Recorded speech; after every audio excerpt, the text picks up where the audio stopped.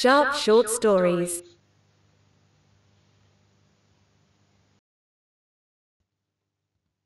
Seagulls attack Greggs. The following events are based on a true story. Names have been changed to protect the identities of the survivors. They had no remorse, no pity, no mercy. They saw what they wanted and they took it. They were thieves, plain and simple. They didn't care about the bakers, the staff, the customers. They didn't care about Greg or Greggs. All they cared about was food, even if that meant attacking children to get it. But what they didn't understand was that Greg, manager of Greggs in Liverpool 1, Liverpool, had had enough. He'd had more than enough. He wasn't going to take it anymore. He was the only one brave enough stand up to the seagulls. Because the Greggs baker shop Greg worked in was so close to the Mersey River in Liverpool, it meant that every day armies of seagulls would band together and form coordinated attacks on takeaways and baker shops in the nearby area. McDonald's and Burger King were well protected fortresses with huge heavy glass doors. If a seagull did manage to sneak into one of those fortresses, it would face a squadron of employees with an arsenal of brooms and mops to beat it into submission. Greg of Greggs had no such protection. It was such a small shop that they had to leave the doors open all day so people could queue up outside, and he only worked with a skeleton staff of three Margaret, the cranky baker, Gary, the cocky 19 year old who always made fun of him, and Lisa. Ah, the lovely Lisa. The seagulls were increasingly aggressive, fearless, and ambitious. The cold foods, such as the chicken baguettes, tuna mayo sandwiches, and ham salad wraps, were easy targets exposed in the fridges. The seagulls would walk right in, flap their wings to get high enough, grab a deliciously chilled snack in their beaks, and fly away to enjoy their savory snacks by the river. The hot food like the sausage rolls, bacon sandwiches, and cheese and onion pasties were safe behind the glass counter with a member of staff ready to shoo them away. But the people who bought the hot food like the sausage rolls, bacon sandwiches, and cheese and onion pasties were not safe from having their food viciously snatched as soon as they walked away. Children and babies were especially vulnerable. Greg was a serious man. He took his role of manager seriously. He got in early and made sure everything was ready for the day ahead. He left late, making sure everything was organized and spotless. He also took his only hobby, his only interest outside of work, very seriously the ancient Chinese martial art of Kung Fu.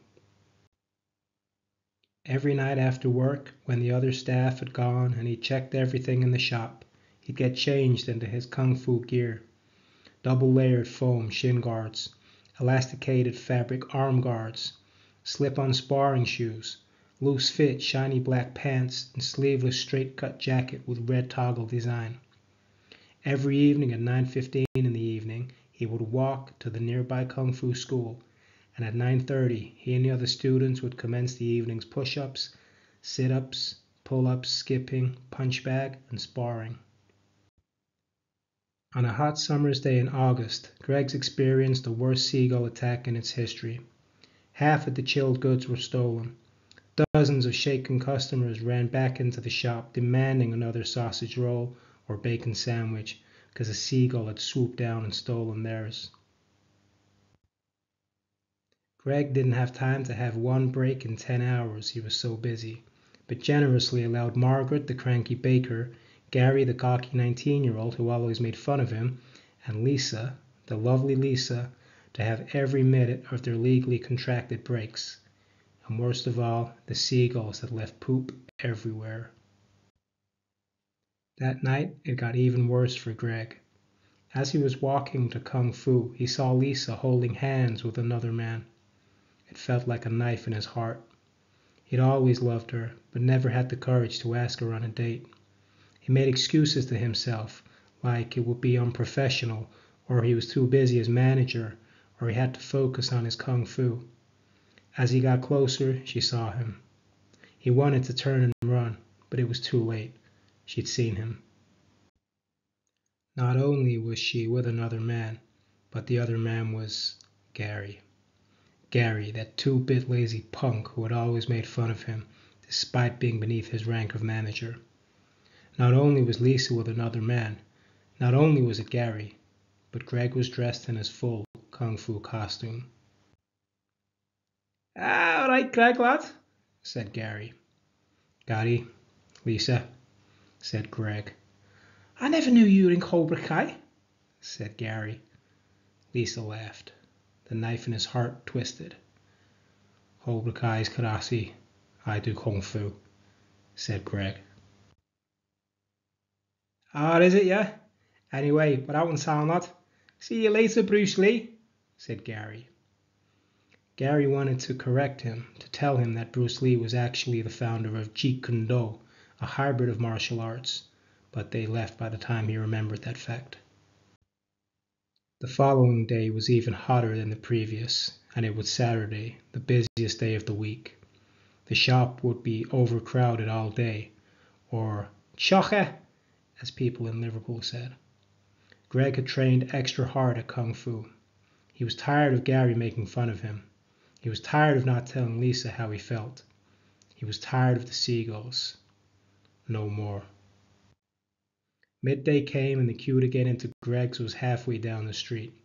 Shoppers were out in their thousands, all squeezing past each other. Teenagers laughed and took photos of themselves laughing. The seagull seemed to sense it was the perfect moment for an attack. Three of them flew into the shop and headed straight for the baguettes. Lisa screamed and Gary crouched down in terror. Margaret was on her break. This was Greg's moment. He leapt up onto the glass counter and punched the first seagull in his beak. It flew away in shock. He jumped down from the counter and kicked the second seagull in the wing. It waddled out of there as fast as it could. He looked at the third seagull, who looked back at him. They looked into each other's eyes, seeing who would make the first move. The seagull must have had more sense than the other two, as it turned and flew away from Greggs, Greg, and a kung fu beating. Greg had no time to congratulate himself. There were screams outside. He darted out and saw a seagull flapping its wings, suspended four feet up in the air, with his beak clamped down in a sausage roll. A four year old boy had his hands gripped around the other end of the sausage roll. There was a frenzied game of tug of war between the bird and the human, with both of them being pulled back and forth. Hundreds of people stood in shock, all filming the action on their phones with no one stepping in to help the boy. Even the boy's mother was too busy with Instagram Live to actually help her son. Only one man had the courage to step in. That man was Greg. He took two steps forward, launched himself into midair, spun round and performed a flying roundhouse kick to the seagull's body. It instantly released its grip on the sausage roll and fell to the ground. It looked up at Greg and realized it could never defeat this savory snack selling kung fu master. It flew away shamed and embarrassed, realizing it was no match for Greg. The crowd cheered and clapped and pointed their phones at Greg. The four year old boy took a greedy bite of his seagull saliva sausage roll. Greg walked back inside the shop and saw the coward Gary still cowering. He looked at Lisa. Do you fancy a drink later? said Lisa. Could do, said Greg but only after Kung Fu.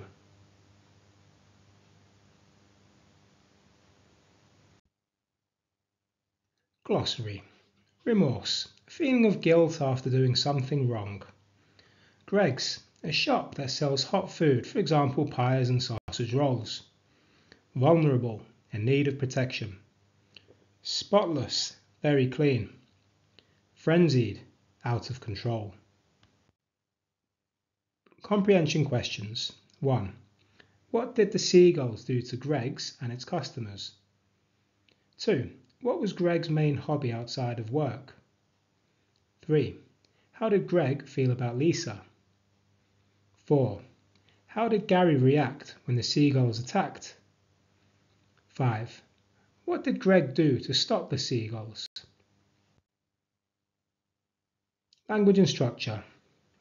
A lot of military vocabulary is used to describe the seagulls. How does this make us picture the seagulls? 2. Look at this sentence. The seagulls were increasingly aggressive, fearless, and ambitious. How is this triplet ironic? 3. The writer uses staccato sentences such as no more and that man was Greg. What effect does this create? 4. Look at this sentence. It flew away, ashamed and embarrassed, realizing it was no match for Greg. How is this sentence absurd? If you liked Seagulls Attack Greggs, read Bread, the story of Greggs.